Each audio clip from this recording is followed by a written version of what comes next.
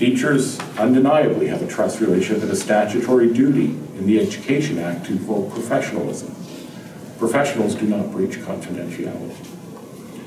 It may have been a bad idea for the department to remove the clear direction for teachers not to out a student without their consent, because clear guidelines establishing professional confidentiality are a good way to protect the trust relationship with parents. By removing the clear guideline, but still informally saying that they don't want children outed, the department has actually taken away the honest answer.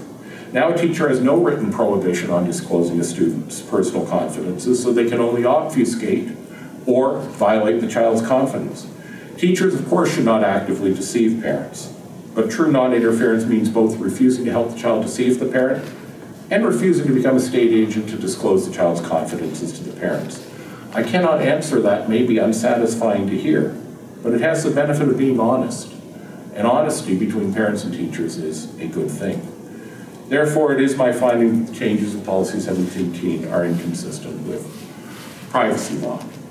They may also be inconsistent with Child Section 15 right to educational accommodation. The Jeffrey Moore decision saw the Supreme Court of Canada clearly say that children have a right to educational accommodations that allow them to fully participate in educational services in the school community. Those who have actually got lived experience say that, if anything, conversations with teachers and trusted adults is a gateway to talking to parents and that many children don't tell their parents first because parents are most important. As one said, with many kids, it's not about a safety concern with coming out, but changing the relationship with their parents and how their parents perceive them.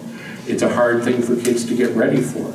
My kid says it's easier to come out to people you don't care about, like at school. You're not invested in their response.